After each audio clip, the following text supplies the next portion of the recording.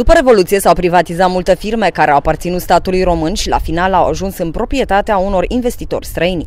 După intrarea în Uniunea Europeană, se pare că tot mai mulți străini sunt interesați pentru achiziția de pământ. Chiar dacă în țările vecine statul restricționează acest fenomen, în România s-ar putea liberaliza cumpărarea pământului. Zăloanii cred că acest lucru nu este tocmai patriotic, deoarece unii au murit pentru țară și pământ și acum se vinde cu acte în regulă, iar sloganul Nu ne vindem țara acum probabil nu mai este valabil. Bună ziua! Ce părere aveți despre vânzarea terenurilor agricole străinilor? Nu, mă, oh, nu, nu. Cred că trebuie să păstrăm pentru noi.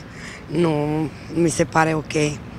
Păi dacă străinii au bani, Ce părere am? Dacă oamenii acum n-au, n-au bani să lucreze, n-au, nu-i ajută nimeni cu nimic, ce să facă?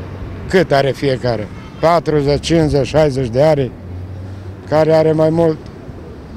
Odată în asociație. rău pentru agricultura românească. Trebuie să cumpărăm noi. Mă, la noștri nu prea stau bine cu bănetul. E rău pentru agri- agricultura, nu, foarte rău. Ne vindem țara, până la urmă. sunt împotrivă, ca toată lumea din România care așa ar trebui să fie.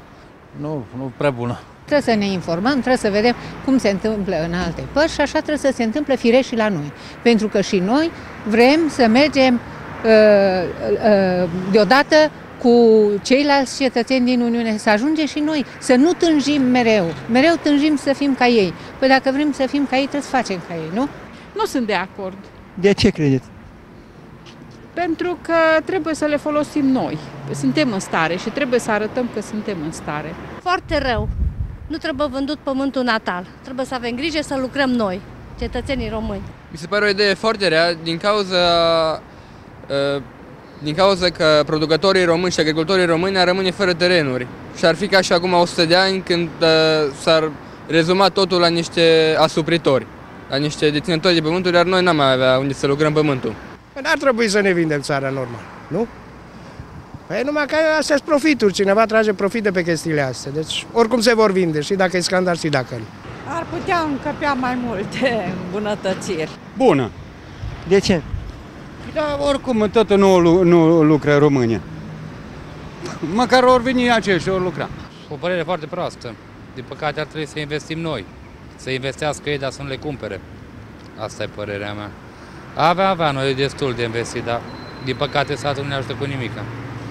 Eu am accesat un fond european și aștept bani de 2 ani de zile. Deci, e urât de tot. Și dacă le dăm străinilor, rămânem fără. Ei fac ce vor cu ele și o să ajungem exact cum e în Germania. Am lucrat în Germania și știu ce înseamnă acolo. Chimicale, cât duce trenul, n-ai ce face. Asta e. Uh, orice fac ei acolo, numai cu chimicale, altfel nu poți avea două, trei recolte pe an cum au ei. Prostă, nu trebuie vândute. De ce? Pentru că s-a noastră, nu s-a altora.